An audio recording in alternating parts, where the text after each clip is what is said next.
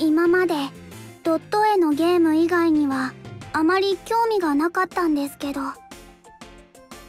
ゲームセンターにはこういったゲームもあるんですね。視野が広がった気がします。勉強になりました。ありがとうございます先生。ここに連れてきてくださって。そのおかげで私今すごく楽しいです。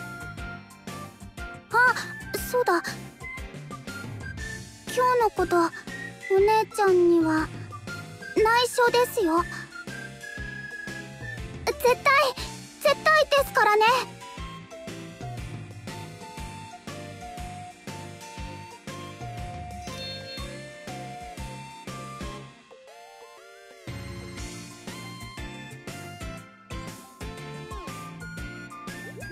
うん。